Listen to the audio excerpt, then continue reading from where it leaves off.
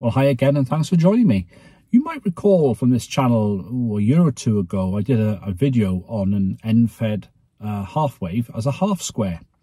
So this particular uh, shape of the antenna, uh, if we're using 20 meters of wire, for example, 66 feet, we'd have uh, two five meter vertical parts to it and then a horizontal part going across for about 10 meters. So I had a go at actually doing this portable the other night. Don't forget with end-fed half waves, because we're feeding it at the bottom corner rather than the top corner, so we're feeding it at the bottom of one of the, uh, the vertical parts, we, we uh, do so at a, at a point where the uh, 49 to 1 or 56 to 1 will give us a fairly decent match to 50 ohms because that's a very high impedance point. So with this length of wire, we'll be able to get 40, 20, 15 and 10 on each harmonic. So um, let me show you then how we deployed it. And then what we're going to do then is look at each band in turn. So we'll uh, see how it did, say on 40 meters to start with, look at some very brief QSOs, and then have a look at why the antenna performed like it did, and look at the logbook, and then we'll have a go then at 20, 15 and 10. Okay, over then to last week. Greetings and hello from a very warm England today. Beautiful weather early in May. Now then, I'll almost rhymed. Let me show you the setup. So we're using the Mad Dog Mutt 56 to 1 transformer. We've got about 5 meters of wire. That's the compensation coil going to the top of the 6 meter fiberglass pole. So 5 meters of wire, quarter wave on 20. You might see it going across there to the other pole. Again, that's 6 meters high and it comes down the other five meters comes down. So the gap between the two poles, the horizontal space, there's the end of the wire there.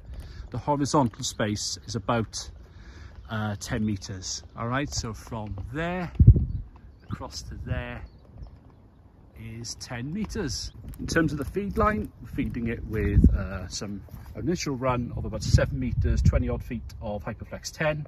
And that's running along here, you get too dizzy, power connected to another seven meters of RG58 into the mobile stroke portable shack.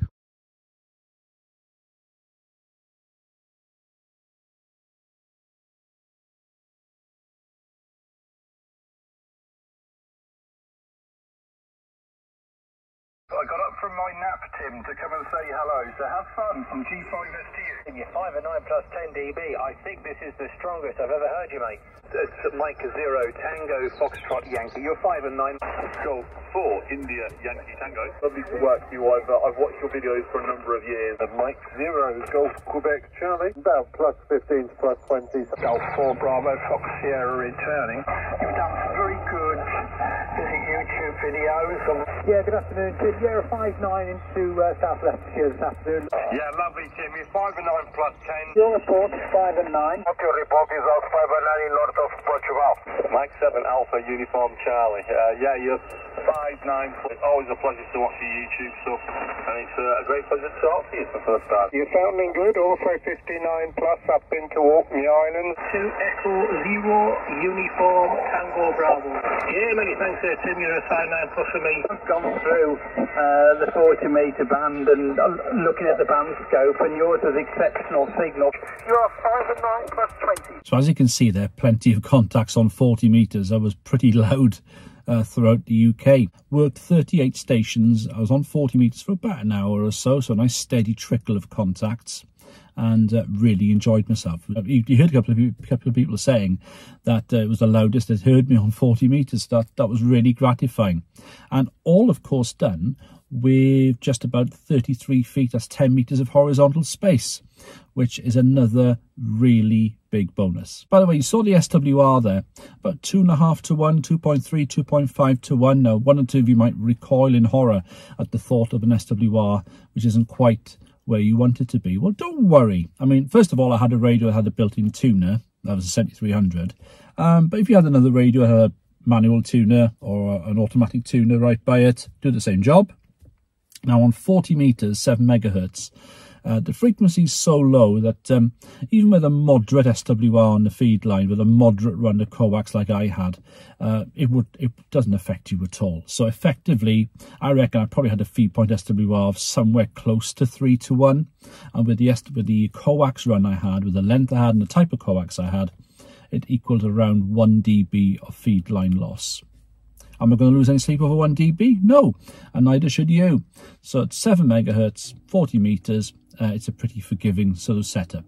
And again, worked really well. And the reason why we had a moderately high SWR is because when we sort of bend the half wave in that sort of shape that we did, we are electrically shortening the antenna. So as we can see from this SWR sort of graph curve, uh, we really had a good SWR, quite a bit out of band higher up. But um, not a problem, as I say, uh, less than 3 to 1 SWR on 40 metres is absolutely nothing to worry about. Also, by bending it into that half square shape in the way that we did, that uh, centre part of the antenna, if you like, that 10 metre horizontal bit where the maximum current will come on 40 metres because it's a half wave, was nice and straight. It was at a 6 metre height, which gives us that lovely sort of uh, local coverage that we're looking for in the daytime on 40 metres. Okay then, next let's look at 20 metres. Uh, you also 10 dB time. Great audio, you are loud and clear. 59 in Azores QSL. You are 5 and 9. You also 5859 here. Now on 20 metres, this antenna is a full wave antenna.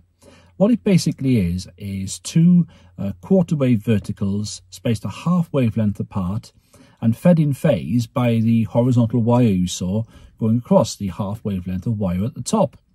What this means is that we then have the current maximum right at the very top of each vertical. So the antenna becomes quite directional on 20 meters. If you think about the half square like this, okay, across and down, and you're looking straight ahead of it, then that's where the current maximum is going to be. That's where the that's where the antenna is going to be quite strong. It's going to be about three or four dB stronger than a conventional sort of quarter wave vertical. All right. However, the trade-off is off the ends, so if you're looking at it, basically you've got the half square there, but off the ends of the half square, it'll be about 6 or 10 dB down on a vertical uh, quarter wave. So it's quite a difference. It becomes quite directional. So how you, or where, and how, I suppose, you put this antenna up will uh, basically uh, make you stronger in some directions and weaker in others. Okay. Now, in my case, looking at my antenna, and bearing in mind I just had the, the space I had to play with, um, it was stronger in the green direction, the two green arrows. So off the ends were the red arrows. So the green arrows, look at the, the top of those, uh, the top of those two green arrows, pointing towards sort of 50, 60 degrees. That was pretty uh, decent in terms of uh, going towards uh, Central Europe, okay? I would also have been quite strong had there been any propagation towards the uh, Central and South America as well. Notice though, towards North America, down to sort of Africa wouldn't have been as strong. So modelling confirms this, and uh, we can see here that we've got uh, two azimuth patterns for 20 metres. On the left, we've got the, uh, we're looking straight ahead at the very top, and of course the bottom will be quite just as strong as well. That's looking straight through the actual antenna, and we've got a figure of minus 2.3 dBi at 5 degrees. The right hand one is the same pattern, but you notice now we're pointing towards one of the, the sides there, and we're at minus 12.1. So that's the difference. SWR for 20 also looked pretty good as well. Uh, much more forgiving than it was on 40 meters, so that's pretty good. Next, let's look at 15 meters. Okay, Golf 5, Tango Mike, portable 5 and 9. Uh, 75 Tango Mexico. Wow, Tim. Uh, good morning to you. Oh, nice to see you. Nice to see you. You're coming uh, 5 by 8, uh, 58 here. My name is Mohammed. How are you, Kim? Yeah, so are you on the portable or on a uh, uh, on the uh, PlayStation, over? I'm portable, 100 watts into an end-fed half wave, Mohammed, over. Wow, that's amazing. Wow. Hi, Tim. Nice to, to hear you. Thanks for the uh, 5 by 8. You're coming up 5 uh, 58 here. Uh, I have a lot of station here. We'd like to work on you. Uh, his, his call sign is 9 VCA Bravo Alpha Tango. Uh, please stand by, Tim. Back to you, Robin. Uh, thank you, Mohammed. Golf 5 Tango Mike from 9 Whiskey 8 Bravo Alpha Tango. How copy, Tim, over? QSL, QSL. Thank you very much for the 517. You're about 5... 5758 And uh, so you are running the uh, 100 watts, is it correct, Tim? That's a Roger, yes, with the uh, 7300 from ICOM and uh, 100 watts into the uh, end-fed half wave, which is uh, in a, a, shape like a uh, half square shape. Over. So that was 15 metres, a very quiet band, but good to work a, a, couple of bits of DX anyway, down to East Malaysia, but 7,000 miles, so I can't be sniffed at, can it? thank you to Mohammed and Robin. Now, um, the SWR was very good, which is uh, probably useful again. However, what was noticeable is how the pattern is slightly different on 15 metres. What we have there, we've basically got uh, four main lobes. And at Malaysia is actually towards the uh, the, the right hand side, the, the three o'clock side, if you like, of that particular pattern. I'm very happy with that indeed. Okay, next, let's look at 10 meters. Uh, Germany 5. Germany 5, Tango, Mike. Germany 5, Tango Mike. Uh, good evening. My name is Marcos. Your signal is 5 by 4 near Sao Paulo. Back to. you. Okay, 10 metres, very quiet band. Worked under Brazil, which is quite nice, so can't be sniffed at, can it? Now, looking at the uh, the azimuth pattern on uh, 10 metres, we can see it's uh, fairly omnidirectional in a sense. There's no real sort of huge nulls there. A couple of strong lobes. Um, we worked Brazil, uh, whereabouts we were on that particular pattern towards Brazil was on the bottom left. So not the strongest part of it, but certainly good enough for us to work in, into there. Uh, the SWR was uh, a little bit on the high side, just over about 2 to 1. Um, but I just used the tuner and the 7300. And again, even with um, on 10 meters, uh, I think the, the, the loss on 10 meters would say, assuming a 3 to 1 um, sort of SWR at the feed point was about 1.2 dB. So you know, I'm not going to worry about that. And uh, yeah, there we go. The antenna worked really well on that band too. So overall, what do I think about the end-fed half wave as a half square? it ticks all the boxes I thought it would. And good old modelling has basically pretty much uh, reaffirmed what I thought would happen with the antenna. On 40 metres, it's a bit of a killer on uh, for, for for local contacts, you know, around, around sort of Europe and and the UK. Uh, very happy with that indeed. Uh, it basically acts as a low dipole. It's about a dB down on a on a sort of inverted V or a flat top dipole at a similar sort of height. So to be perfectly honest with you, absolutely brilliant. 20 metres, needed a bit more propagation on 20 really to give it a full workout, but promising. And again, it's sort of stronger in the directions I thought it would be. So on 20, it's the one band, you've got to be careful about how you orient orientate the actual antenna. 15, very pleased with those contacts onto East Malaysia. Very happy with that indeed. And 10 meters wasn't really open. Uh, there were basically two signals on my scope and I worked one of them down to Brazil. So there we are. It works okay. What an antenna like this will depend on, of course, is how efficient your transformer design is.